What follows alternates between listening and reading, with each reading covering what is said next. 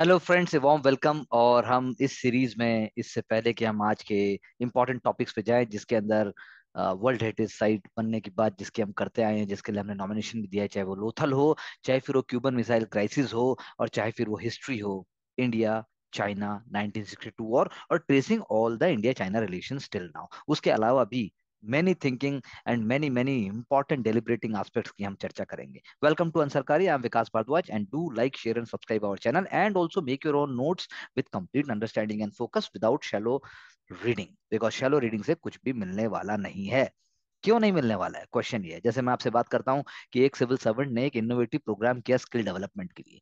नाम है कार्तिक मिश्रा जी। कार्तिक मिश्रा जी ने Kaushal Godavari skill development and entrepreneurship promotion project किया। है कौशल गोदावरी नाम भी देखो लोकल रखा।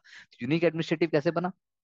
यूनिक एडमिनिस्ट्रेटिव सिस्टम या यूनिक एडमिनिस्ट्रेटिव एंगल कैसे बना? Skill development skill enhancement job placement ये सब कैसे की? क्या खुद उन्होंने जॉब्स क्रिएट कर दी ऐसा कुछ नहीं किया। ही just you know facilitated with the private companies एक प्रोग्राम को उन्होंने 2019 में स्टार्ट किया। अराउंड 16,000 यूथ्स को उन्होंने अपने ही डिस्ट्रिक्ट में लिंक कराया जिसमें ट्राइबल गर्ल्स भी हैं जो फॉक्सकॉन फॉक्सकॉन जो कंपनी है उसके साथ जोड़ा। ट्रेडिशनल जो फैमिलीज़ हैं यूथ हैं, उनको जो है टेम्पल्स में ही प्रीस्ट की तरह उनको जॉब दिलाने में हेल्प की। इवन इंडिया से बाहर भी। Not just in India even India से बाहर भी जो ट्रेडिशनल प्रीस्ट फैमिलीज़ हैं, उनको यूएस है या और कंट्रीज़ है, वहाँ भी उन्होंने हेल्प की। इनफैक्ट 200 कंपनीज़ ने पहला स्टेप या पहला स्टॉप माना। 200 कंपनीज़ ने पहला स्टॉप माना। 200 कंपनीज़ ने पहला कहा कि yes we are ready to have recruitment over here यानी कि गवर्नमेंट सिस्टम ने ट्रस्ट क्रिएट किया। गवर्नमेंट सिस्टम ने एक अप्रोच बनाई। मास्टर ट्रेनर्स हायर किए। एसी टेक्नीशियन चाहिए वेल्डर चाहिए, कुछ भी चाहिए मोटिवेशनल टॉक भी दिए शॉर्ट टर्म कोर्सेज करा दिए पंद्रह पंद्रह दिन के, उससे लोगों को थोड़ा स्ट्रीमलाइन कर दिया। ये सब किसने किया? ये सब किया कौशल गोदावरी के डिस्ट्रिक्ट कलेक्टर ने। कौशल गोदावरी बिल्डिंग में ही किया डिस्ट्रिक्ट कलेक्ट्रेट में ही किया। तो इसीलिए नए नए लोगों को सर्टिफिकेट मिलते गए, चाहे वो एचसीएल के सर्टिफिकेट हो, चाहे वो फिर वो विप्रो के सर्टिफिकेट हो, और ये सारी चीज़ें फ्री ऑफ़ कॉस्ट की कंपनीज़ ने सो टेक अवे क्या है? टेक अवे है कि आप यूथ को एम्पावर कर सकते हैं स्किल के थ्रू। अगर गुड गवर्नेंस को आप थोड़ा स्ट्रीमलाइन करें और आप ज़्यादा माल मसाले के चक्करों में ना पड़े। इसके लिए एक सोच चाहिए होती है, इसके लिए एक फोकस चाहिए होता है और इसके लिए एक इमेंस सेटिस्फैक्शन चाहिए होता है। डेफिनेटली इसी एंगल से हमारी भी सोच यही है कि आपको भी इमेंस सेटिस्फैक्शन और फोकस मिले to join our courses and program so that you become fit and you become amazing in joining anything in your life for getting success.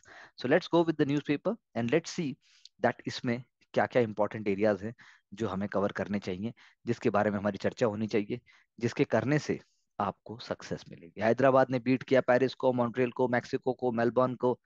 क्या मिला? World Green City Award PT के लिए important question इस तरह के बनते हैं। World green city award तो आपको पता होना चाहिए जीएचएमसी यानी ग्रेटर हैदराबाद म्यूनिसिपल कॉर्पोरेशन का क्या रोल रहा? गवर्नमेंट ऑफ़ तेलंगाना का क्या रोल रहा? और वर्ल्ड ग्रीन सिटी अवार्ड मिला। वर्ल्ड ग्रीन सिटी अवार्ड जो है world the world champions for the power plants ए का इसमें रोल है। तो ए आई पी एच को गूगल कीजिए, देखिए उसको और समझिए थोड़ा सा क्या हुआ। दूसरा, गन्ना किसानों का रखा मान। तो एक स्टेट गवर्नमेंट ने कैसे गन्ना किसानों का रखा मान? 492 करोड़ फ़र्स्ट टाइम में ड्यू पे कर दिया। और एग्रीकल्चर क्या रखा? कॉस्ट क्या रखा? शुगर के इनका 20 पर क्विंटल बढ़ा दिया है मिनट से। रुपीज़ ट्वेंटी पर क्विंटल बढ़ा दिया। तो ये हर स्टेट के लिए बात है, हर जगह के लिए बात है। तो यहाँ पर देखने की बात ये कि उन्होंने ऐसा किया तो उससे एक्चुअली में फोकस या फ़ायदा क्या हुआ? Moving further and understanding that what else we can take up so that we will be understanding and analysing the key areas the key developments for अब मैं अगर बात करूँ कैल्शियम या विटामिन की जिसके लिए यहाँ पर आर्टिकल भी आया और वो आर्टिकल इंपॉर्टेंट है वो it talks about you know what I should it, talks about uh, uh, what is the importance of vitamin D? What is the importance of vitamin uh, vitamins, and especially in keeping your bones healthy? इस चीज़ की बात मैं कर रहा हूँ इस चीज़ की बात ये है कि वो बोन को हेल्दी आप कैसे रख पाते हैं बोन को आप हेल्दी रख पाएँगे या चीज़ों को समझ पाएँगे कैसे उस चीज़ को करेंगे you know our our society and even our families and our uh, you know uh, what i should say uh, generations they always focus कि भाई हम औरों के लिए मदद कर दें औरों पे जान लगा दें औरों पे ये चीज़ें कर दें। लेकिन सिर्फ़ वो करने से तो बात नहीं बनती है। अपनी हेल्थ के लिए विटामिन डी जिसको हम सनशाइन विटामिन भी कहते हैं वो इंपॉर्टेंट है। तो यानी कि कुछ ऐसी चीज़ें जो हम रोज़मर्रा की ज़िंदगी में कर सकते हैं। विटामिन डी हमें जो है या तो मिल्क से मिलेगा या non milk non milk sources से मिलेगा दोनों की बात है। उसके अलावा हम बात करते हैं इंपोर्टेंट इन्फ्लेशन की तो important inflation please think about four ways जिससे इंपोर्टेंट इन्फ्लेशन इंडिया में आता है। आप सोचिए कि what are the four ways by which important inflation is coming to India and your job is over secondly make in India की एक नई लिस्ट बनाई। मेक इन इंडिया की लिस्ट आप जाकर उसकी वेबसाइट पर चेक कीजिए कि गवर्नमेंट ऑफ़ इंडिया ने मेकिंग इंडिया की मेक इन इंडिया की नई लिस्ट में आखिर डाला क्या क्या ऐसे, जिसके अंदर बहुत सारी चीज़ें हैं। Fourth positive Indianisation fourth positive indigenisation की जो लिस्ट है, उसके अंदर हंड्रेड एंड वन आइटम्स प्रधानमंत्री जी ने बोले उसमें आप देखिए उसमें क्या प्रलय है। उसके अंदर शिप बॉन अनमेरिड एरियल सिस्टम्स भी हैं। उसके बाद उसके अंदर फ्रिगेट्स भी हैं मोबाइल डिजास्टर रिलीफ इक्विपमेंट भी है। एक वर्ड है H A D R note कर लीजिए। Humanitarian assistance and disaster relief operation H A D R के अंदर भी बहुत सारी चीज़ें यूज़, यूज़ होती हैं। या लॉन्ग रेंज जो यूएवीज हैं एच ए एल ई उसकी भी बात होती है। तो ये सारी पीटी के लिए है।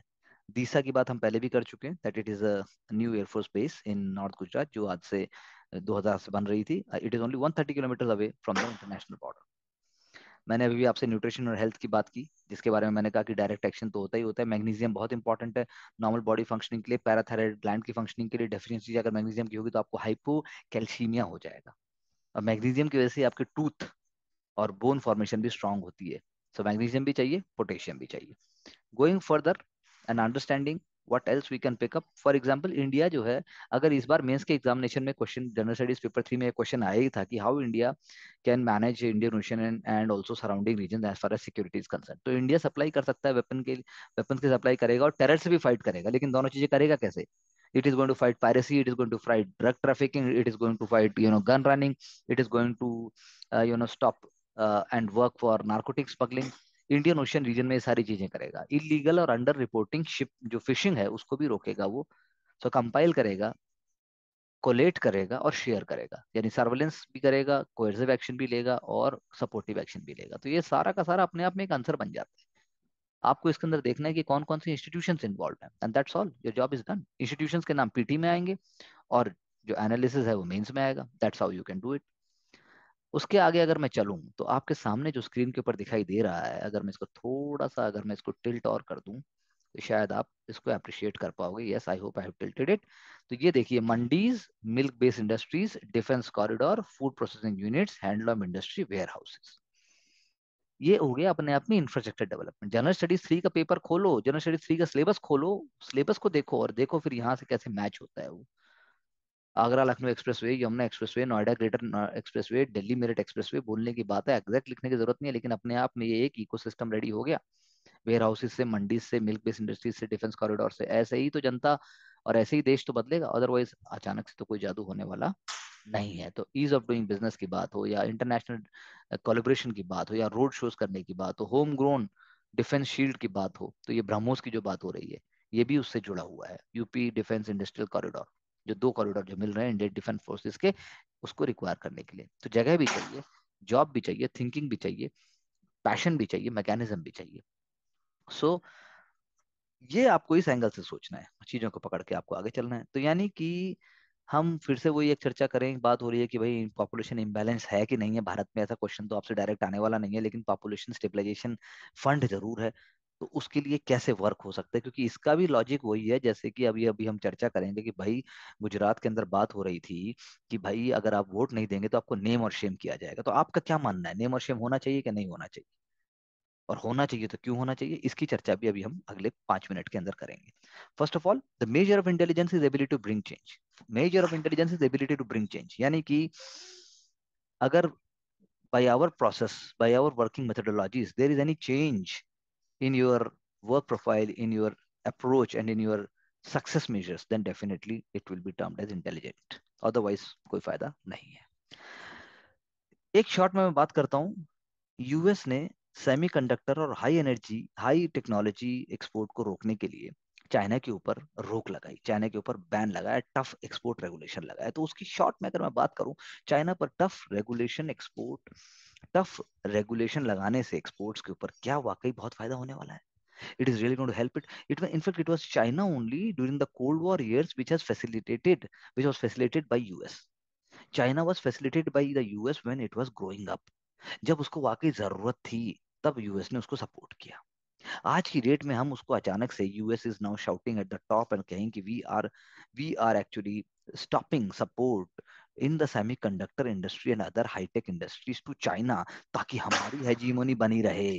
तो ये कहाँ तक सही है?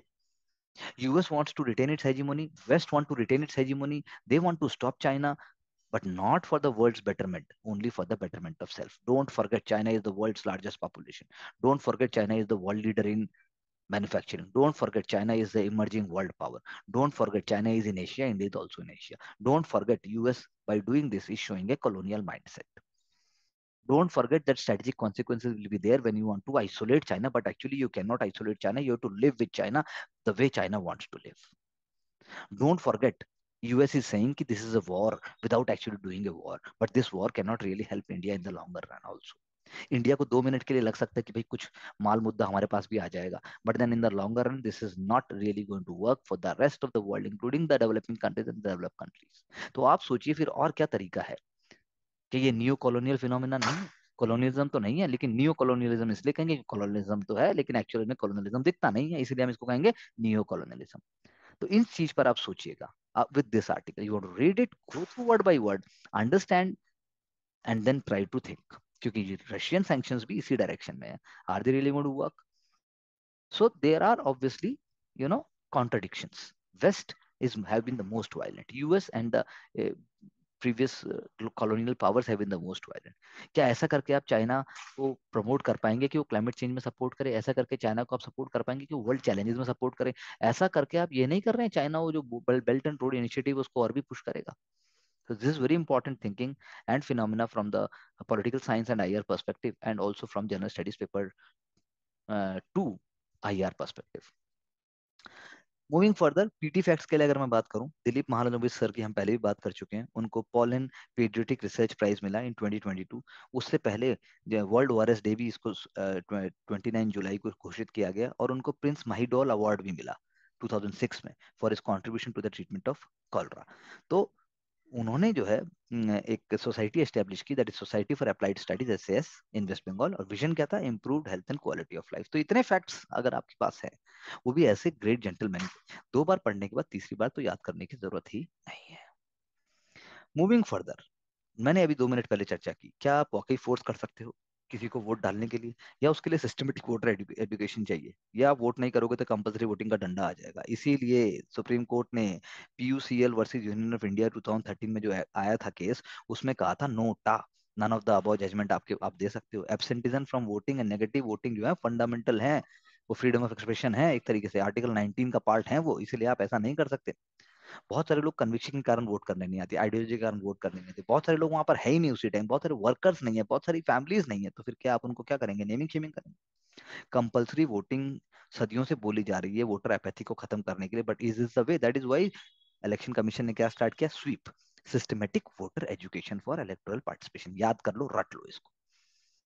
तो पंगा क्या है? अगर आप कंपलसरी बंबू करते हैं कि भाई yes voting has to be done तो first of all it is violation of section 79 D of RPA representation of people act 1951 जो ये डिफाइन करता है कि इलेक्टोरल राइट का मतलब है right of a person to vote और refrain from vote right to vote and refrain from vote यानी रिफ्रेन भी कर सकता है वोट भी कर सकता है।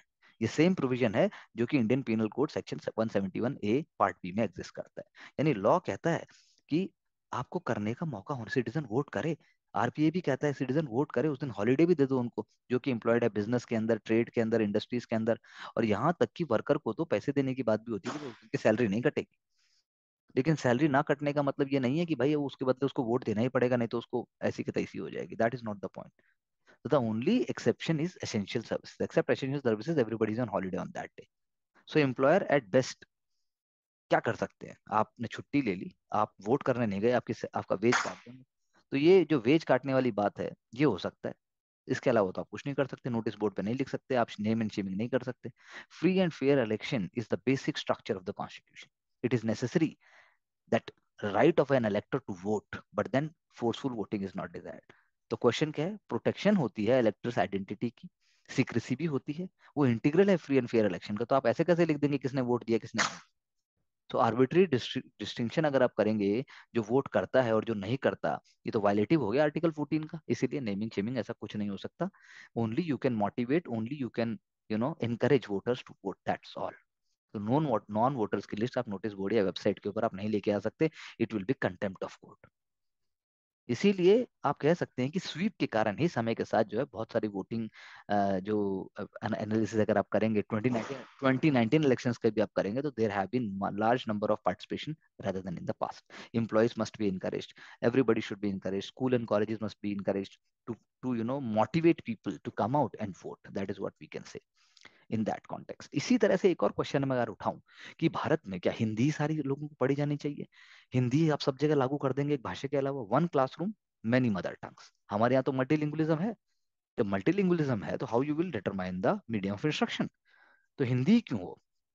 अगर आप नॉर्थ ईस्ट के लोग ले लो, अगर आप डीप साउथ के ले लो, अगर आप डीप नॉर्थ के लोग ले लो तो कैसे होगा? तो मदर टंग में इंस्ट्रक्शन होनी चाहिए। इंग्लिश एक मीडियम हो सकता है सबके लिए, लेकिन Hindi as a language of mobility and power वो ज़बरदस्ती आप फिट नहीं कर सकते। It is definitely our national language वो राष्ट्रभाषा की तरह है। सारी भाषाएँ राष्ट्रभाषा है। राजभाषा भी है वो। हिंदी और अंग्रेज़ी तो राज हिंदी तो राजभाषा का पार्ट भी आती है। सो यरवा, कोडावा, आओ, गारो, सिंधी, भोजपुरी ये सभी लोग जो है, इन लोगों को अपनी मातृभाषा भी आती है। जो ज़रूरी नहीं है कि वो स्टैंडर्डाइज कोई और मदर लैंग्वेज सीखे जो उनके मदर टंग नहीं है। लेकिन पढ़ाई के लिए जहाँ तक बात है स्कूलिंग की जहाँ तक बात है, वहाँ पर इसीलिए थ्री लैंग्वेज फार्मूले की बात है और medium of instruction later on English भी हो जाता है लोकल लैंग्वेज भी हो जाती है। तो क्वेश्चन इज़ दैट हमें वेस्ट का notion one nation one language one nation one culture one nation one law one nation one religion ये हमारे यहाँ फिट नहीं हो सकता। We are a diverse multi language society लेकिन आप इसके बीच में ही सोचिए, संथाल को संथाली में ही पढ़ाना ज़रूरी है, एक लिमिट तक। उसके बाद अंग्रेज़ी भी जाननी ज़रूरी है, क्योंकि वो बाहर की दुनिया से कनेक्ट करती है। हिंदी भी जानिए। हिंदी भी आपको राष्ट्र सम्मान, राष्ट्र धरोहर और इवन नौकरी में भी मदद करती है। Even I am speaking Hindi only right now we are using also bilingualism Hindi and English तो आपको ये वाली अप्रोच लेनी है rather than taking a very very stern और very very one sided approach this is what I want to share with national credit framework open for public consultation national credit framework अभी सबके लिए आया है। National credit framework जो है वो classroom के बियॉन्ड स्टूडेंट्स को क्रेडिट अर्न करने में मदद करेगा, वोकेशनल स्टडीज़ के लिए भी मदद करेगा। तो नेशनल एजुकेशन पॉलिसी के अंदर प्रोविज़न है कि आप समय समय के साथ आपको क्रेडिट मिलेंगे। Credit for vocational studies, credit for yoga, credit for sports, credit for other things, even as well an on job training and internship and apprenticeship. So this is a positive step. इसमें Aadhaar enabled student registration होगा और वो जो है academic bank of credit बनेगा। जो bank of credit बनेगा उसके अंदर आपके क्रेडिट इकट्ठे होते चले जाएँगे। Definitely it is part of your personality school level में होगा जैसे class pre to class 2, class 3 to class 5, class 6 to class 8, class uh, 9 to class 10, and then finally class 11th and 12th, and later on undergraduation. So this is the wonderful thing, but we have to see कि actually में ऐसा ground root level के ऊपर कैसे हो पाएगा और कैसे ये एक्चुअली फैसिलिटेट कर पाएगा ये एक सोचने वाली अगर मैं फिर से बात करूँ, अभी मैं बात कर रहा था आपसे इंडिया चाइना बॉर्डर की तो इंडिया चाइना बॉर्डर के अंदर 1962 का जो वॉर हुआ था, वो आज तक अनरिजॉल्व रहा है और उसके बाद नेहरू गवर्नमेंट ने कुछ मिस्टेक्स की थी। दिस वंडरफुल राइटअप जिसको हम डिस्कस कर सकते हैं। 1950 के अंदर नेहरू जी का मानना था कि मैकमोहन लाइन हमारा बॉर्डर है और हमें मैप नहीं चाहिए, मैप हो या ना हो हमें कोई फ़र्क नहीं पड़ता। That is how custom and usage इसके तरीके से हमने अपनी बाउंड्री को डिफाइन किया था।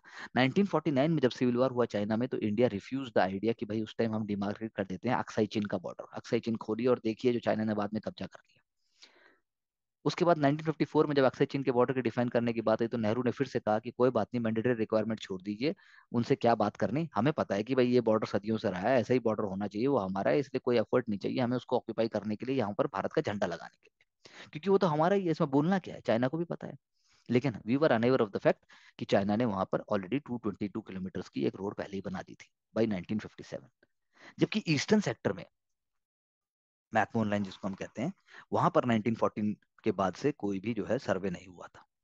वो भी मान लिया गया था कि भाई ऐसा ही है। हेनरी मैकमोन ने एडमिट किया 1935 में that I did not do proper demarcation because of the lack of understanding of the local culture and also local populations जो उनके साथ इंटरेक्शन होना चाहिए था। तो इसलिए इंडिया की हो गई अनरियलिस्टिक एक्सपेक्टेशंस इंडिया का हो गया आइडियलिज्म इंडिया ने 1954 में तिब्बत तो दे दिया तिब्बत एग्रीमेंट से, लेकिन बदले में जो हमें लेना चाहिए था वो हमने बातचीत पूरी नहीं की। और बाद में हमारे एक्सकलेशन उससे बढ़ गए चाइना से बढ़ गए। हिंदी, चीनी भाई भाई हम बोलते रह गए, लेकिन जब Chinese premier Zhou Enlai और नेहरू जी की जब बातचीत हुई तो फेल हो गई। और उसके बाद जो है अक्सई चीन एक स्टम्बलिंग ब्लॉक बन गया वेस्टर्न सेक्टर में। चाइना ने बार बार बोला, चलिए आइए बैठ के बात करते हैं इसको और निगोशिएट करके डिमार्केट करते हैं थ्रू ज्वाइंट सर्वे लेकिन हमने तो यूनिलेटरली अपने आप को डिफाइन कर दिया कि हमारी वेस्टर्न बाउंड्री ये है। लेकिन जब आपने खुद ही डिमार्केट कर दिया और आपने कस्टम की बात की और आपने वो, आपने कहा कि सदियों से इतिहास रहा है, लेकिन उसके बाद भी नेहरू जी अनश्योर थे कि इंडिया की एक्चुअली में पोजीशन क्या है। वो फ्यूचर के लिए बहुत श्योर नहीं थे। लेकिन वो ये जानते थे कि वो शायद सोच रहे थे, चाइना ऐसा कभी नहीं करेगा। और चाइना ने तो अपने मैप्स में तो सब चेंज कर ही लिया था। नेबर्स के साथ भी वो जानता था कि it has to bring surveys and discussions नए मैप लाने से पहले। 1954 में चाइना ने कह दिया था, वो सर्वे अंडरटेक करेगा डिस्कशंस करेगा सारे स्टेक होल्डर के साथ before determining its international borders जबकि नेहरू जी ने ऐसा नहीं किया। उन्होंने माना कि चाइना को जो हम बोल रहे हैं, चाइना हमारी बात चुपचाप मान लेगा और रेप्लीकेट कर लेगा अपने मैप में। लेकिन ये कैसे, ये तो हुआ नहीं। इसे 1954 का पंशील एग्रीमेंट प्लीज़ उसके की पॉइंट्स देखिए। एंड ऑल्सो तिब्बत को देने के बाद से चाइना और कॉन्फिडेंट हो गया। चाइना को चाइना को टाइम भी मिल गया to enforce territorial claims on Indian borders और उसके बाद चाइना ने जो है अपना मन बना लिया and it was clearly ready कि हम अपने तरीके से इनको सबक सिखाएँगे। यानी कि हमारे जो इंडिया चाइना के जो बॉर्डर डिफरेंसेस थे, वो नेहरू जी के पीरियड में वो खत्म नहीं हुए, वो एक अनइनफॉर्म्ड अनइनफॉर्म्ड और एक आइडियलिस्टिक अप्रोच के अंदर छिपे रहे, जैसे हम बोलते हैं, भैया, पढ़ रहे हैं, पीटी तो निकाल ही देंगे। नतीजा 1962 का वॉर और उसके बाद भी हमने उस चीज़ को छेड़ा नहीं। कोई एग्रीमेंट उसके बाद भी नहीं हुआ। उसके बाद भी झाओ इन ने सजेस्ट किया that let's create a demilitarise zone ताकि फ्यूचर में कंफ्लिक्ट ना हो। लेकिन दोनों कंट्रीज़ ने इस बात से रिफ्यूज कर दिया। कुछ अटेम्प्ट तो हुए सेटलमेंट के, लेकिन उसके बाद कुछ नहीं हुआ। चाइना ने उसके बाद ये मौका देना भी बंद कर दिया। चाइना ने दे, मौका देना बंद कर दिया। 1960s के बाद चाइना ने एक बार ये भी कहा है कि भाई चाइना की पोजीशन पहले ये थी कि लेट्स स्वाप। आप हमसे अक्साई चीन ले लीजिए हमें ईस्टर्न सेक्टर दे दीजिए तिब्बत का एक्सटेंडेड पार्ट यानी कि अरुणाचल प्रदेश दे दो हमें और बात खत्म। अब लेकिन चाइना आज की डेट में क्या कहता है वो तो वेस्ट तो हमारा है ही है ईस्ट वाला सेक्टर भी हमारा ही है और इस पर हमें कोई निगोशिएशन नहीं चाहिए हो ही नहीं सकता। Eastern sector is inalienable from China's Tibet in terms of cultural background and administrative jurisdiction शब्द देखिए आप मीनिंगफुल म्यूचुअली एक्सेप्टेबल एडजस्टमेंट तो हो ही, होने की बात करते लेकिन होगा कैसे? अब पैकेज ट्रीटमेंट कैसे होगा? पैकेज का मतलब ये है कि इंडिया जो है चाइना के कंसर्न्स को टेक केयर करे ईस्टर्न सेक्टर में भी, यानी कि अरुणाचल प्रदेश का, और वेस्टर्न सेक्टर तो हमारा है ही। ये पोजीशन आज की डेट में है। तो नेहरू जी ने जो रिएक्टिवली पॉजिटिवली रिएक्ट नहीं किया था, जहाँ लाइक डीमिलिटराइज जोन वाले आइडिया को 1962 के बाद से वो हमारे लिए कंसर्न बन गया। यानी दोनों के अपने अपने परसेप्शन हुए line of actual control India का कहाँ पर एक्चुअल कंट्रोल है और चाइना का कहाँ है। जब राजीव गांधी चाइना विज़िट पे गए 1988 में सिंस 1954 नेहरू के पास जब विज़िट की थी तो आप लगा लीजिए हमारे जो बॉर्डर्स हैं चाइना के साथ, वो चाइना के फेवर में फ्रोज हो गए। In return for trade science technology culture जब एग्रीमेंट्स हुए या या आप कह लीजिए जो दस्तावेज़ साइन हुए। So borders were freeze by that time relations were promoted. The Chinese remain in all territories they had occupied since 1962. इसीलिए चाइना और इंडिया के बॉर्डर डिस्प्यूट में स्टेलमेट रहेगा ही रहेगा। बहुत सारे हैं वैसे तो। Maintenance of peace and tranquillity 1993 में हुआ। मिलिट्री कॉन्फिडेंस बिल्डिंग मेजर्स 1996 में हुआ। Political parameters and guiding principles for settlement of boundary question 2005 में हुआ। बॉर्डर डिफेंस कॉपरेशन 2012 में हुआ, लेकिन इससे कुछ नहीं होने वाला। गालवान होता है यहाँ तो। डोकलाम होता है यहाँ तो। सो म्यूचुअली एक्सेप्टेबल सोल्यूशन मिलना बहुत मुश्किल है, जब तक चाइना अपनी पोजिशन से चेंज नहीं करेगा। और वो करने वाला दिखाई नहीं दे रहा है। अदरवाइज़ चाइना वायलेट कर रहा है।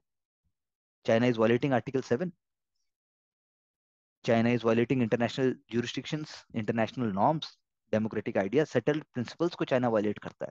लेकिन स्पेशल रिप्रेजेंटेटिव्स 2003 में अपॉइंट हुए 22 meetings have been done but then they have not helped in solving the border dispute तो ये पोजीशन है। अब इसके बाद आप सोचिए क्या आंसर हो सकता है? सोचिए लिखिए हम फिर चर्चा करेंगे।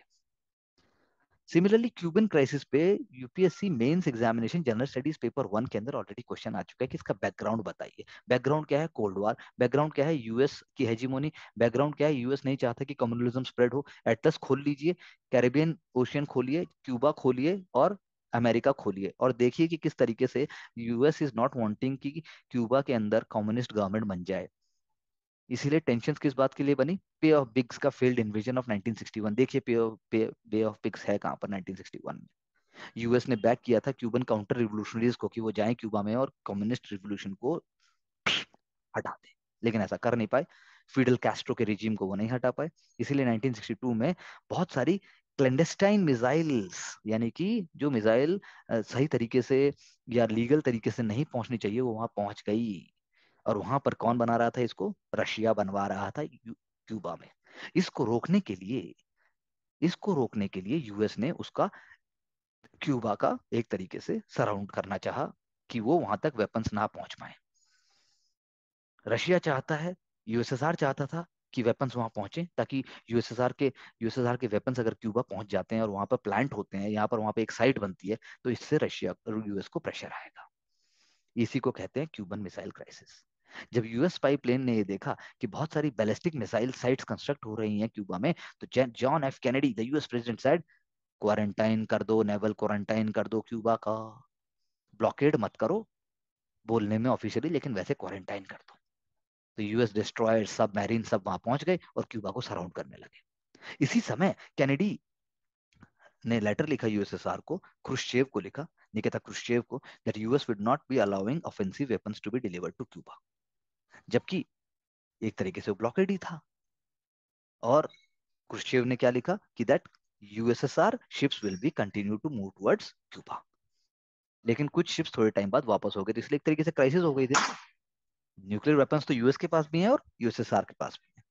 तो क्रुश्चेव ने लिखा फिर यूएसए को that if you are going to if you are going to you know stop military shipments in I should say in Italy and Turkey वहाँ से आप मिसाइल हटा दीजिए इटली और टर्की से तो हम भी यहाँ से विड्रॉ कर लेंगे। बैकग्राउंड चैनल्स में डिस्कशंस हुए। US and Soviet ambassadors they met with each other और डिसाइड हुआ कि यूएस ने कहा हम क्यूबा को इन्वेड नहीं करेंगे और हम टर्की और इटली से मिसाइल भी हटा देंगे, लेकिन ये पब्लिक में हम नहीं बताएँगे। क्रुश्चेन ने भी अनाउंस किया Soviet nuclear missiles will be remove from Cuba Kennedy ने प्लेज किया कि मैं कभी भी क्यूबा को इन्वेड नहीं करूँगा, यानी यूएस कभी भी क्यूबा को इन्वेड नहीं करेगा। So this is the background of the crisis ऐसे क्राइसिस अवर्ट हो गई अक्टूबर 27 19 अगर आप डेट्स के साथ इसका माइंड मैप बनाएँगे you will be doing it further better तो this is a very very important topic हमने लगे हाथ एक वर्ल्ड मैप वर्ल्ड हिस्ट्री का भी एक टॉपिक कवर कर दिया। So moving further taking up very very another important topic from the general studies paper one and from the pt perspective about lothal. Lothal का और मोहनजोदारो बात दोनों एक ही हैं दोनों ही amount of date southernmost site है इंडस वैली सिविलाइजेशन की पुराना एक एंशियंट इंडिया का मैप खोलिए और देखिए इंडस वैली सिविलाइजेशन की लोथल एक्चुअली है कहाँ उसके आसपास कौन कौन सी रीजन है भाल रीजन के अंदर कौन कौन सी और साइट्स हैं आप देखेंगे उसके आसपास जो है बालाकोट कुंतासी उसके बाद जो है खीरासा और रंगपुर ये सब आपको मिलेंगे। तो यानी 1947 के बाद Indian archaeologist S R Rao sir उनका नाम पीटी में आ सकता है उनका नाम, देखिएगा। एस आर राव सर की टीम ने डिस्कवर किया हड़प्पन साइट्स को और उन्होंने लोथल को भी डिस्कवर किया। लोथल में एक्सकेशन वर्क जब हुआ 1955 और 1960 के बीच में archaeological survey of India played very important role Lothal में वर्ल्ड का अर्लीस्ट नोन डॉक मिला डॉक यानी डॉक यार्ड यानी उस सिटी को कनेक्ट कर रहा था। साबरमती रिवर का जो एंशियंट कोर्स था, वो रिवर के कोर्स से वो डॉक जो है, वो सिटी को कनेक्ट कर रहा था। National Institute of Oceanography Goa ने बहुत सारे marine microfossil salt gypsum crystals ये सारी चीज़ें मिली जो बीच पे मिलती हैं या जो समुद्र के किनारे मिलती हैं या जो कह लीजिए कि किसी भी सी शोर पे मिलेंगी। यानी वहाँ पर बहुत सारा पानी भरता था और डॉकयार्ड में पानी भरता था, वहाँ तक जहाज़ आते थे और चले जाते थे। तो यहाँ पे टाउनशिप भी मिली मार्केट प्लेस भी मिली डॉक भी मिला। तो आर्कोलॉजिकल साइट का म्यूज़ियम तो बनना निश्चित है, जो कि अभी बन रहा है। वहाँ पे इंडस ईरा की सारी एंटीक्विटीज भी डिस्प्ले की गई हैं। लोथल को 2014 के अंदर गवर्नमेंट ऑफ़ इंडिया ने यूनेस्को साइट के लिए हेरिटेज साइट के लिए डॉसियर बनाया। डॉसियर बना के दे दिया कमेटी को। अभी तक लेकिन उसको स्टेटस नहीं मिला है। It may be getting the world status in the future अब लेकिन कमाल की बात क्या है? मेट्रोपोलिस है वहाँ पर, यानी एक शहर की तरह है। एक है अपर टाउन एक है लोअर टाउन और साथ में एक बेसिन है, यानी कि वर्टिकल वॉल अगर आप उसकी देखेंगे, वर्टिकल वॉल के साथ साथ एक इनलेट बनेगा, एक आउटलेट चैनल होगा। यानी कि डॉकयार्ड जो था, वो टाइडल डॉकयार्ड है। जब जब टाइड्स हाई होंगी तो शिप जो है कोने तक आ पाएँगे। अपने साथ पानी जब आएगा, बहुत हाई टाइड के साथ, उससे जो है पूरा पूरा पानी भर जाएगा। बोट्स जो है अपस्ट्रीम तक आ जाएँगी। वहाँ पे एंकर्स बने हुए हैं, मैरिन शेल्स हैं। वहाँ पर पर्शियन गल्फ को जाने का रास्ता भी बना हुआ है। पर्शियन गल्फ की तरफ़ रास्ता बनेगा। वहाँ पर वेयर हाउस भी है ताकि जो माल आएगा वो माल रखा जाए। यानी कि एक इंपॉर्टेंट और अमेजिंग साइट है तो town, upper town, lower town और एक बेसिन भी हो गया। और ऊपर से एक वॉल भी मिल, वॉल मतलब पूरा एक सिस्टमेटिक अप्रोच है like the way we say urban urban urban city having a great planning तो ये किससे कंपेयर कर सकते हैं आप? Ostia the port of Rome Carthage port of Tunis Hepu China में कोनपस इजिप्ट में Gebal Byblos of Phoenicians and Jaffa Israel में उरिन मेसोपोटामिया हुई एंड इन वियतनाम ये सारे के सारे इन एंशियंट पोर्ट टाउन्स हैं। पीटी में नाम आ जाएँगे, देख लीजिएगा। अभी तो वहाँ पे जो मैरीटाइम जो नेशनल मैरीटाइम हेरिटेज कॉम्प्लेक्स बन रहा है it is of you know three thousand five hundred crore on that it is being spent I should say so this is an amazing development हमने इतनी सारी चीज़ों की चर्चाएँ की, हमने इतने सारे डेवलपमेंट देखे।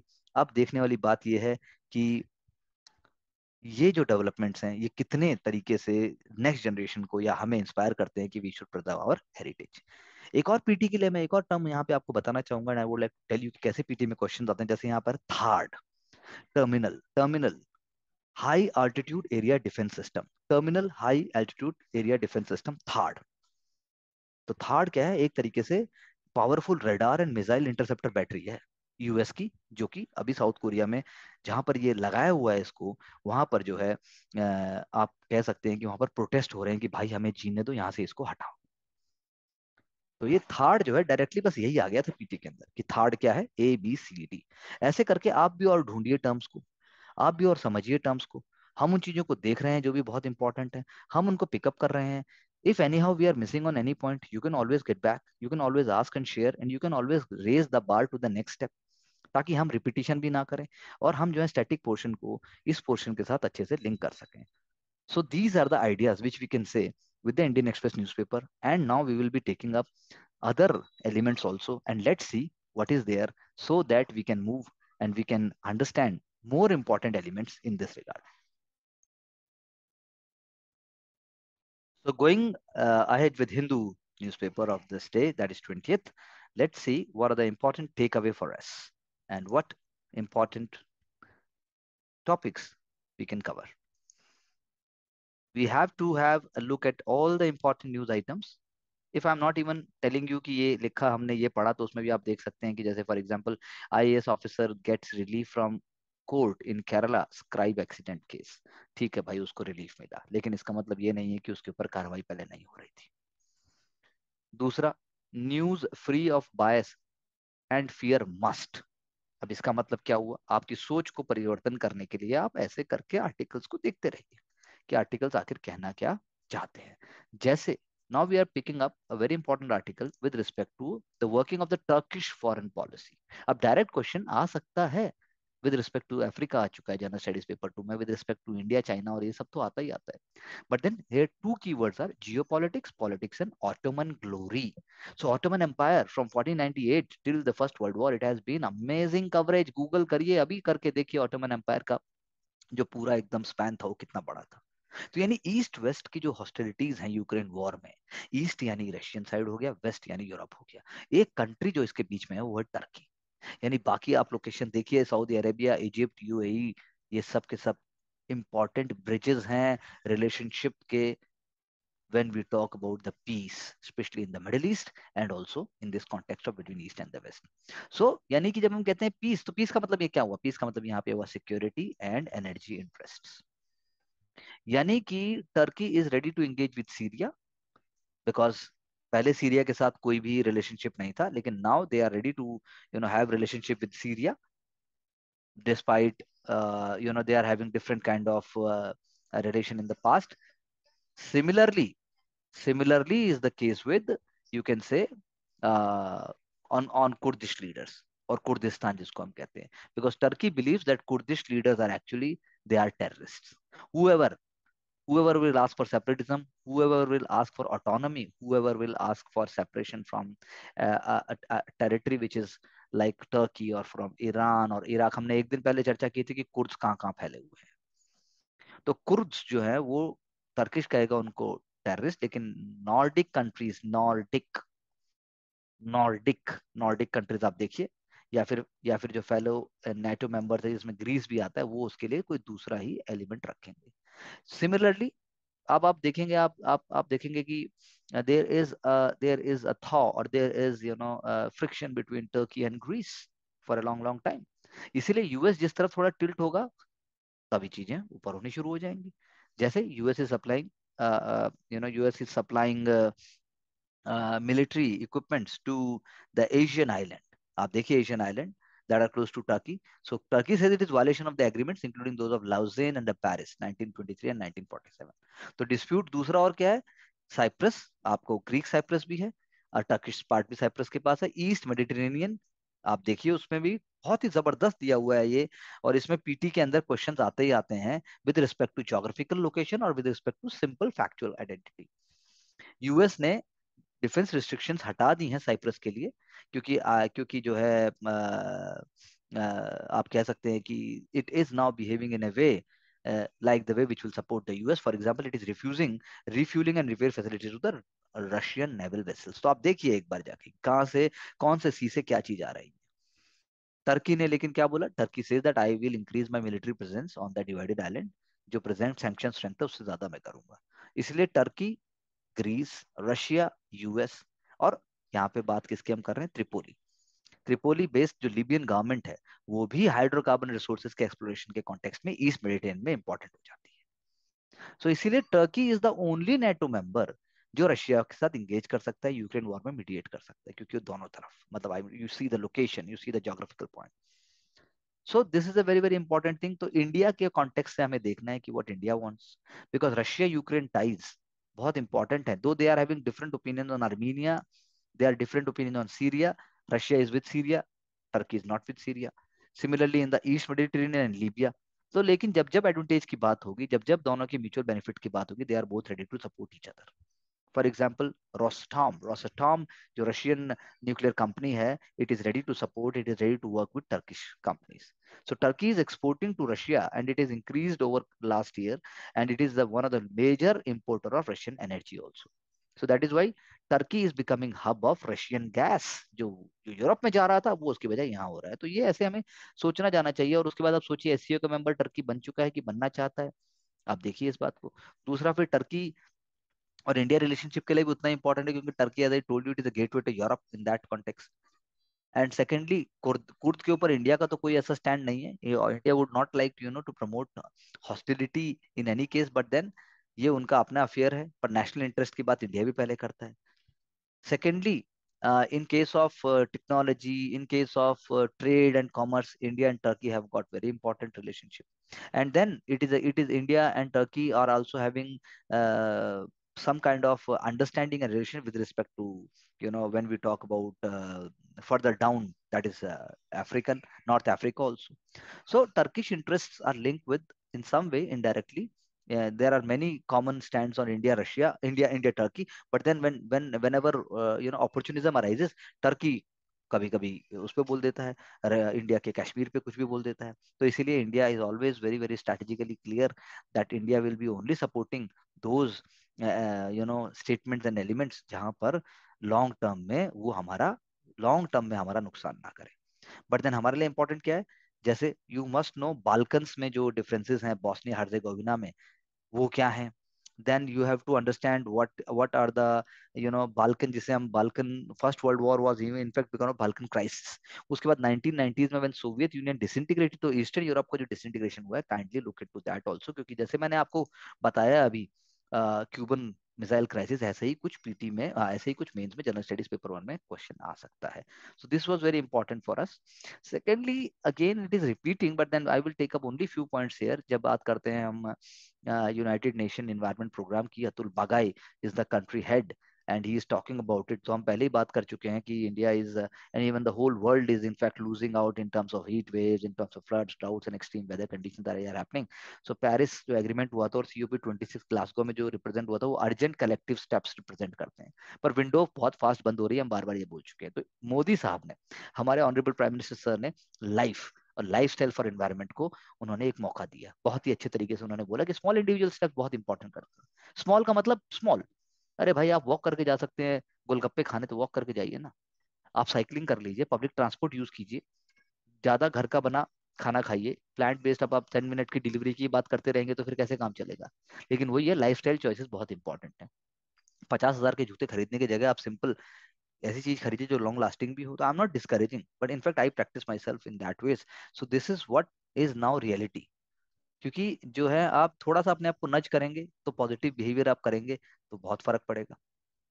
साइकिलिंग से साइकिलिंग पाथ बनते आ रहे हैं ग्रीन हाउस गैस इमिशन जो है, वो हाउस होल्ड कंजम्पशन से बहुत ज़्यादा है, उसको आप कट कर सकते हैं। लाइट्स आप ऑफ़ कर सकते हैं ज़रूरत पड़ने पर तो यही जन आंदोलन बनाने की बात उन्होंने की है।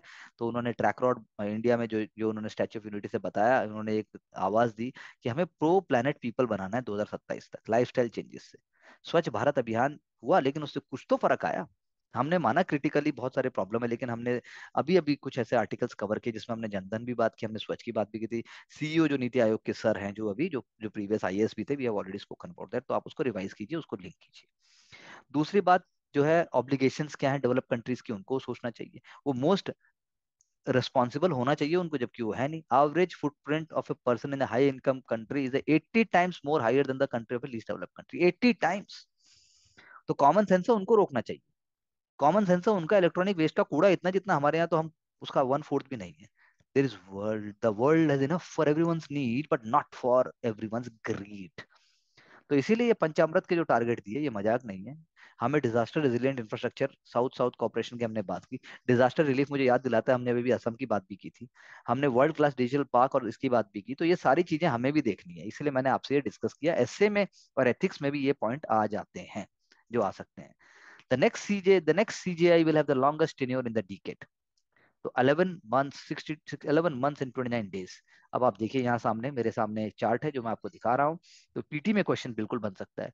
Justice Y V Chandrachud seven years four months and nineteen days इतना उनका जो है लॉन्गेस्ट uh, जो सर्व किया उन्होंने। Justice Bhuvneshwar Prasad Sinha four years justice A N Ray three years Sudhi Ranjan Das three years justice K G Balakrishnan three years justice D Y Chandrachud two years and two days bottom five में कौन आते हैं? के N Singh साहब आते हैं justice S Rajendra Babu justice J C Shah justice J B Patnaik and justice Uday Umesh Lalit सबसे कम टर्म जिनका रहा है वो जस्टिस के एन सिंह साहब का रहा है।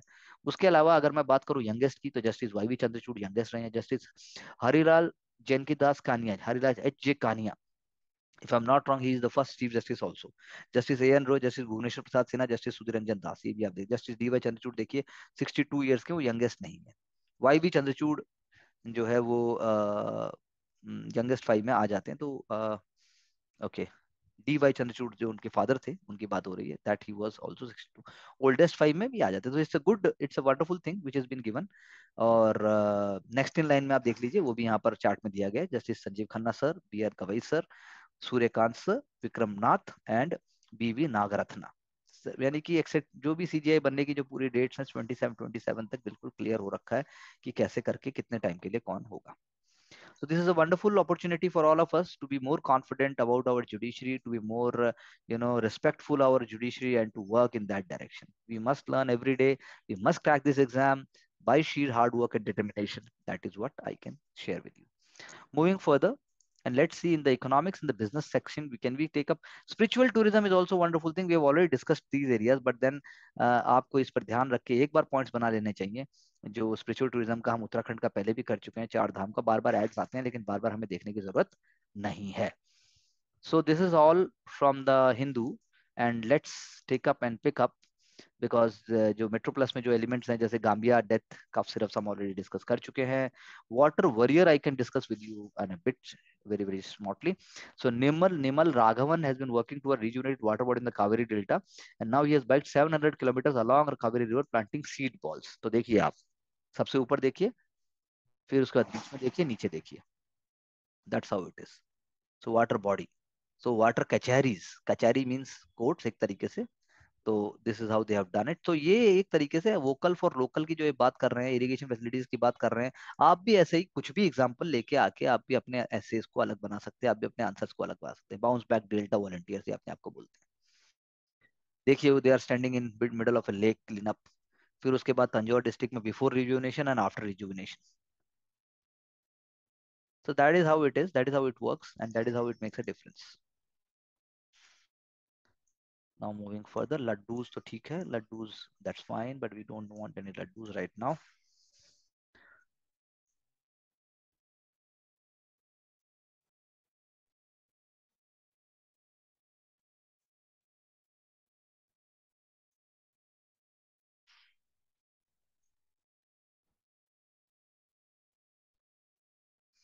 Kantara I would like to share with you a movie जो अभी आई तो कंटारा जो है this idea goes back to the unifies nature and also humanity and the divine folklore traditional practices and the regional beliefs ये हमारे लिए important है। Damning gods you know Panjurli and Gulika they become a talking point तो कंटारा एक movie है, लेकिन बात movie की नहीं है बात मैं थीम की कर रहा हूँ।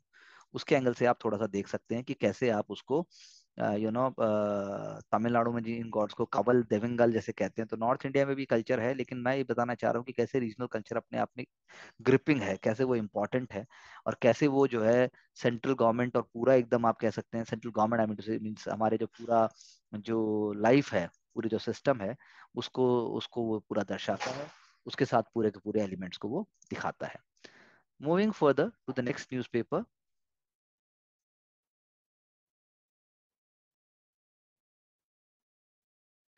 तो हम बात कर रहे हैं, जैसे अभी हमने पहले भी बात की थी I am again taking up this article with respect to you know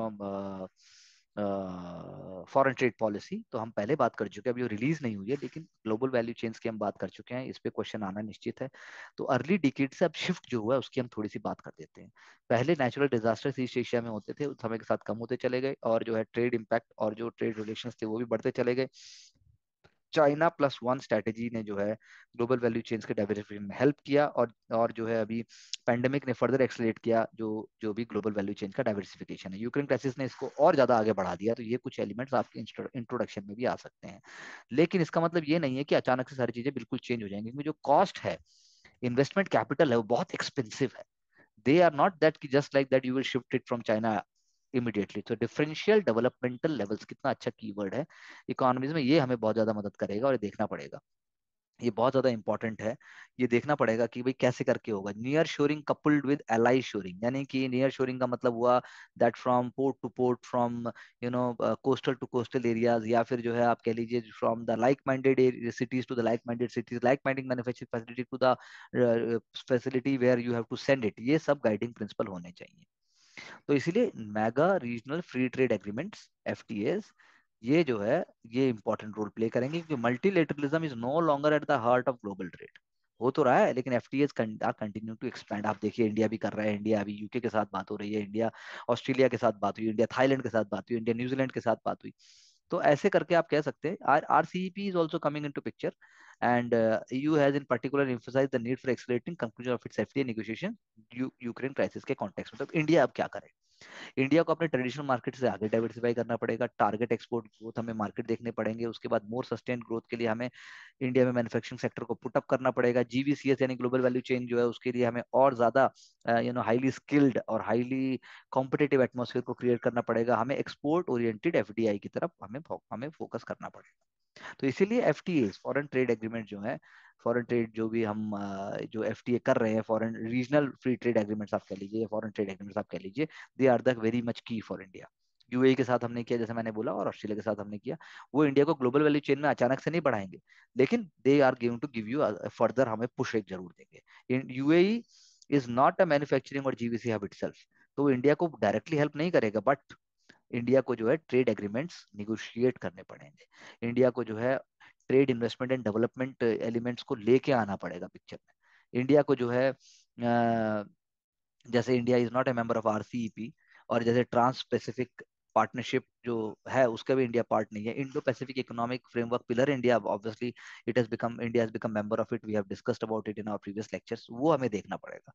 इसीलिए इंडिया को अपनी नेगोशिएटिंग पोजीशन पे और स्ट्रांग होना पड़ेगा। डोमेस्टिक पॉलिसीज़ को इंटरनेशनल जो सिनेरियो है, उसके कॉन्टेक्स्ट में रिलेवेंट होना पड़ेगा। यानी लेबर और इन्वायरमेंट स्टैंडर्ड्स हमें रेज करने पड़ेंगे। कोई हमें ये ना बोले, भैया, आपकी फुटबॉल जो है, ये तो गरीब बच्चों ने बनाई, आपकी फुटबॉल जो है, ये तो इस लेदर से बनी। इंडिया को भी ग्लोबल स्टैंडर्ड्स और ग्लोबल उन पर फोकस करना पड़ेगा। कैसे?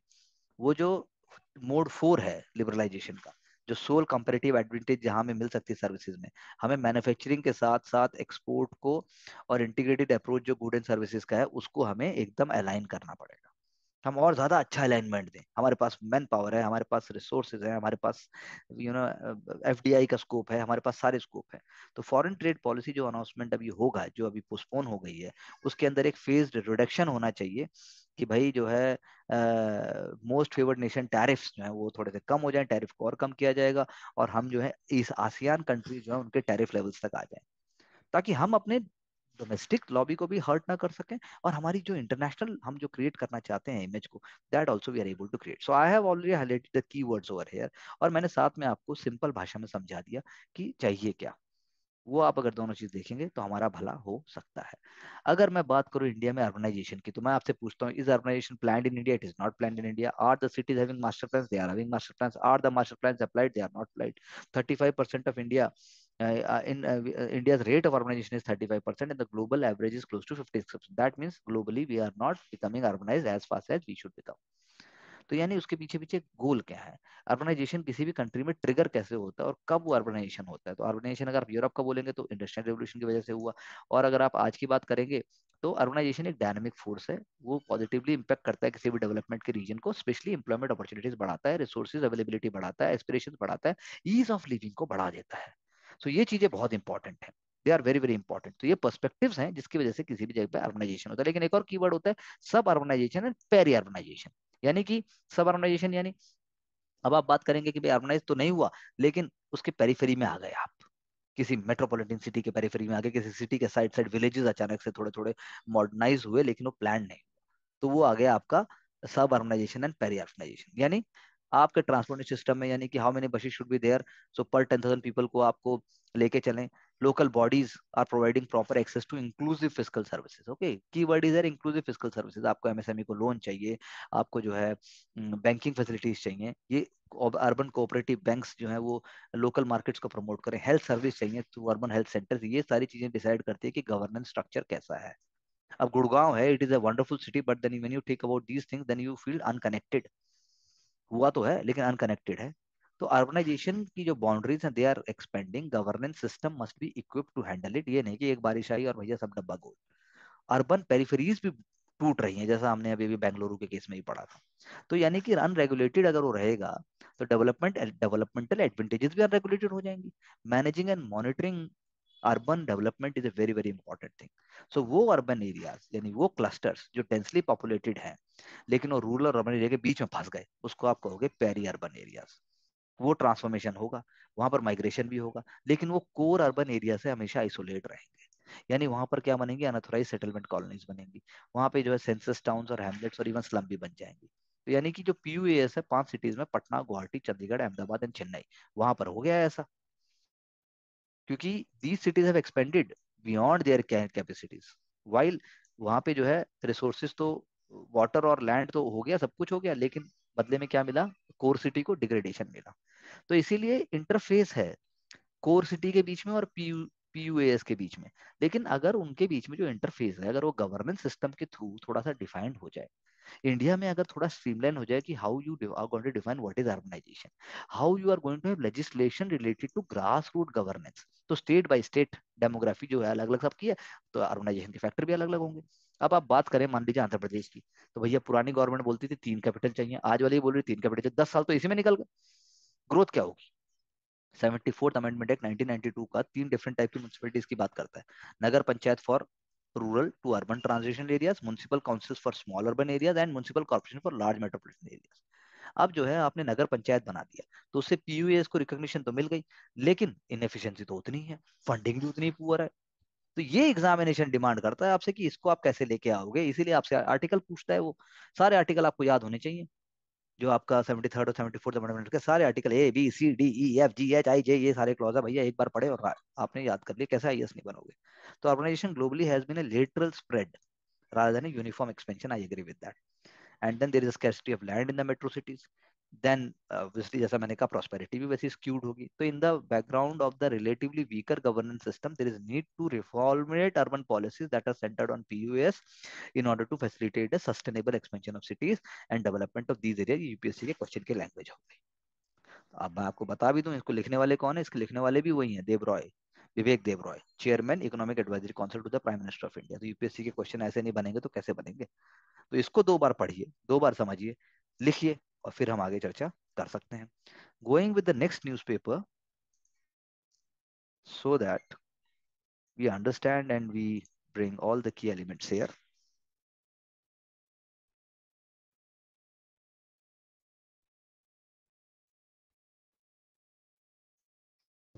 तो हम बात कर रहे हैं जैसे कि अब इसके अंदर हम बात करते हैं टाइम्स ऑफ़ इंडिया से। अगर हमारे रिलेटेड कुछ पीटी के लिए आए कुछ मेंस के लिए आए तो we are gonna leave anything अब जैसे यूएस हम ऑलरेडी बात कर चुके हैं यूएस का जो टेक वॉर है अगेंस्ट चाइना अब उसके बाद हम ऑलरेडी डिस्कस कर चुके हैं कि चाइना में ये है वर्ल्ड का फास्टेस्ट कंप्यूटर भी चाइना में है चाइना के अंदर 186 of the top 500 most powerful super computer हैं यूएसए के पास ओनली 123 है।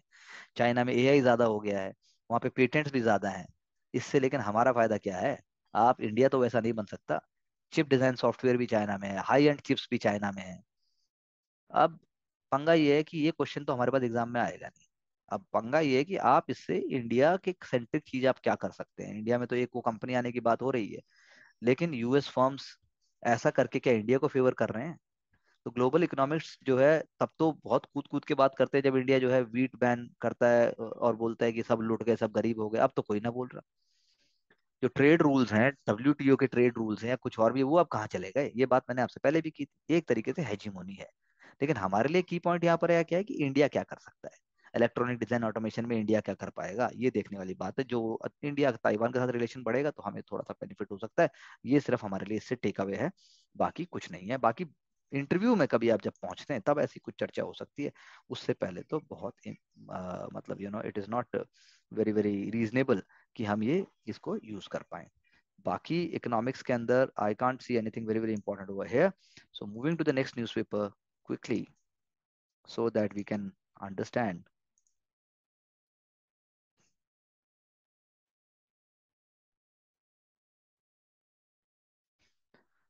So we are here to unlearn and relearn एक आया इकोनॉमिक टाइम्स में। तो अनलर्न रीलर्न में वही हायर एजुकेशन के जो हमने बात की थी। इसके अंदर हम पहले ही बात कर चुके हैं कि भाई हायर एजुकेशन जो है वो मूवमेंट ऑफ़ रिकॉर्डिंग की बात हो रही है। यहाँ पर हायर एजुकेशन के अंदर आप जो है अलग अलग आइडियाज़ को सिखाने की बात कर रहे हैं तो वो हम ऑलरेडी चर्चा कर चुके हैं। अब मैं सिर्फ़ चार पॉइंट जो शुरू में दिया उनको बोलना चाहूँगा। There is increase gap between the present curriculum and the industry needs and the future skill वो कम होना चाहिए। मिडिल क्लास एस्पिरेशन क्वालिटी और और एजुकेशन उसको चाहिए, वो होना चाहिए। Lowered importance of formal degrees due to changing jobs and industry needs ये बात बिल्कुल सच है। फॉर्मल डिग्री से काम नहीं चलता सिर्फ़। आपने आई से पढ़ाई की है बस ठीक है but how you are able to utilize that knowledge for even for civil services that is very very important क्या आप पेपर निकाल पाओगे क्या उससे? ये इंपॉर्टेंट है। दूसरा जो शॉर्ट में एक सामने आर्टिकल है वो है renewable is doable in Africa in most African countries large percentage of power generation from fossil fuel based energies लेकिन Nigeria Cameroon Ghana South Africa location देख लीजिए। वहाँ पर एनुअल री एनुअल जो अबेंडेंस uh, है रिन्यूएबल रिसोर्सेज की वो बहुत ज़्यादा है। And that is why they can really promote ये आप एग्ज़ाम्पल देंगे तो it will be fresh breeze actually तो वहाँ पर वो प्रमोट कर सकते हैं। Most important reason renewable energy का है कि मोस्ट डेवलपिंग कंट्रीज़ अफ्रीका में वो इलेक्ट्रिसिटी को एक्सेस ही नहीं कर सकते हैं। तो नाइजीरिया में तो इनएडिक्वेट सप्लाई है इलेक्ट्रिसिटी की सेवरल डिकेड से। क्योंकि 60 percent of population is not connected to national grid और ऐसा बाकियों के साथ भी ऐसा ही है। तो इसीलिए इंडिया जैसी कंट्री के लिए तो बहुत ही फ़ायदा है कि वो जो है आप जो है रिलेशन भी इंपॉर्टेंट कर सकते हैं। और बाकी बातें भी हो सकती हैं।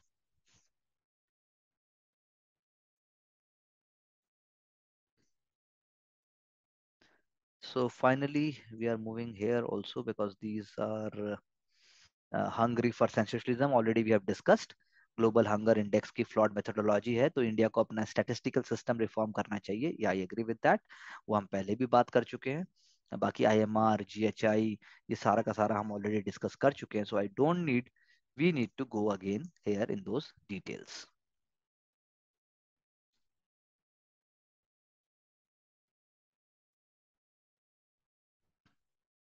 Now, there is an important article in Business Line with respect to clean energy. Yeah, again, clean energy topic is very, very important.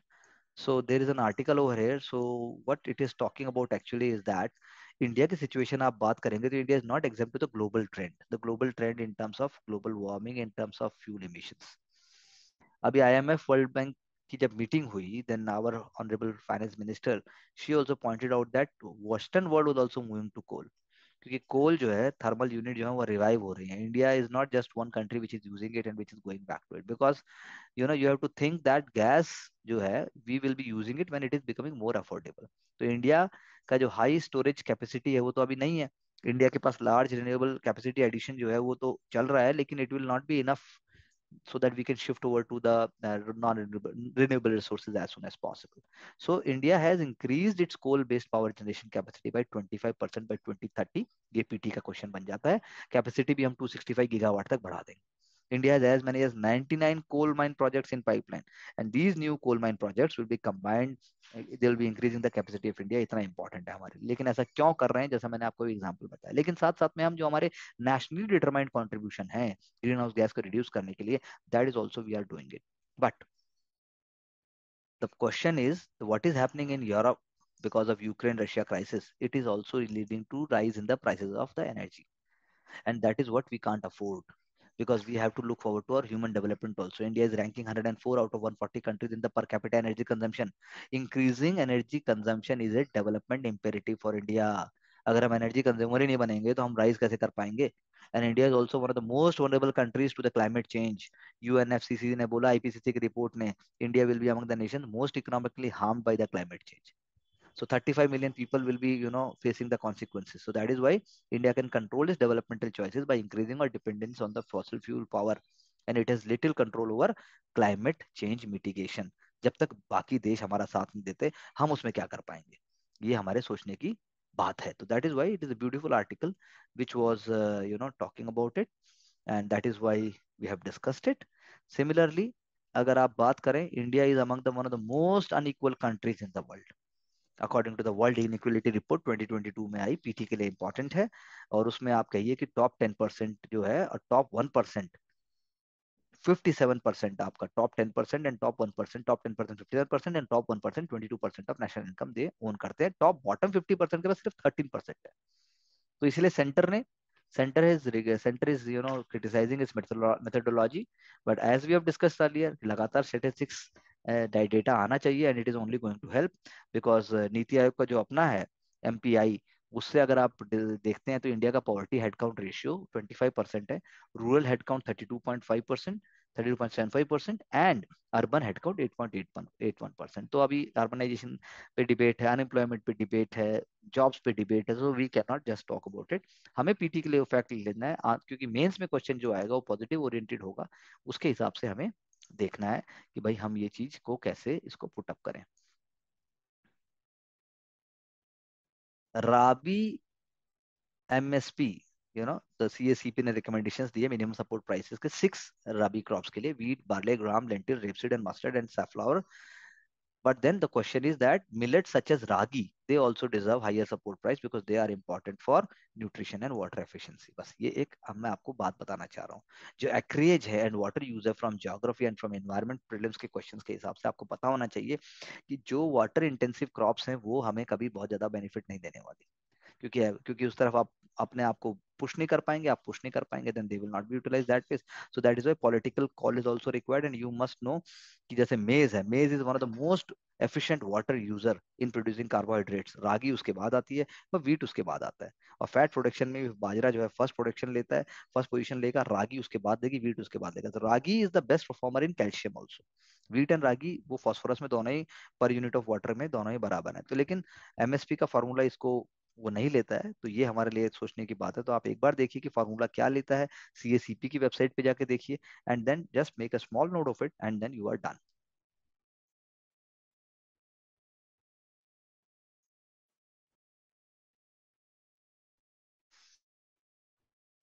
now taking up the last very important element एक जिसका एक question है जो मैं आपसे discuss करना चाहूँगा। कि भाई आखिर चर्चा में था तो हम भी बात कर लेते हैं कि आखिर इसका फ़ायदा क्या है। So we why what so special about aluminium railway wagon क्योंकि अभी हमने ऑल एल्युमिनियम वैगन जो न्यूज़पेपर न्यूज़ में था अभी first freight train with all aluminium wagon brakes की बात की तो उसमें आखिर ऐसी खास बात क्या है? तो खास बात यह है कि भाई फ़र्स्ट ऑफ़ ऑल जो है उसके प्रोडक्शन के लिए ब्लूप्रिंट बनाया गया। Modern coach factory at Rae Bareli it has signed the transfer of technology contract with South Korea's for the design development manufacturing and testing of aluminium body coaches in early 2020 so that is how the project took place PT के angle से अगर बोले। दूसरा uh, दूसरा अगर हम बोले what is the plan for their introduction तो जैसा मैंने बोला at present India high speed train including Rajdhani and Shatabdi they use Linke Hofmann Busch coaches that are made of stainless steel only the interior the aluminium which makes them lighter as compared to conventional rakes. Indian Railway plan to procure 400 new generation Vande Bharat train sets with better energy efficiency and passenger riding experience. So use of aluminum coaches will be considered. Freight train के बाद बाद gradually जो है new coaches की new coaches में इनको और introduce किया जाएगा तो एल्यूमिनियम कोचेस क्या कार्बन फुटप्रिंट रिड्यूस करते हैं yes it is estimated that aluminium will be saving one 1500 tons of carbon emission a year And when you are going to have 1 lakh wagons in coming years, the potential of CO2 reduction will be over 2.5 million tons. So that is an important thing.